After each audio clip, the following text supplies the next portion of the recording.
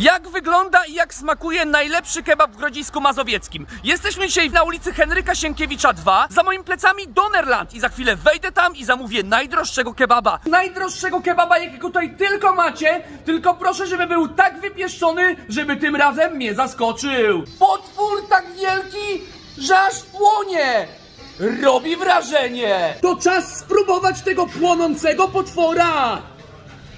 Za najdroższy płonący talerz kebab zestaw Donerland zapłaciliśmy 55 zł. Samorobiona kofta, adana, grillowane mięso z wołowiny, baraniny i kurczaka, ryż i samorobione sosy. Wchodzisz do lokalu i zamiast śmierdzącej frytury pachnie jedzeniem. I po tym między innymi poznasz, że można tutaj zjeść. Donery to klasyczne gotowce, po prostu są, ale jakbym musiał się zdecydować, wybrałbym kurczaka, natomiast głównie skupiłem się tutaj na samorobionym mięsie z grilla, soczystym i dobrze doprawionym. I do wyboru jest sporo ciekawych dań. A co ty sądzisz o takim płonącym, potężnym potworze? Z kim zjadłbyś takiego gagatka? Daj mi koniecznie znać w komentarzu.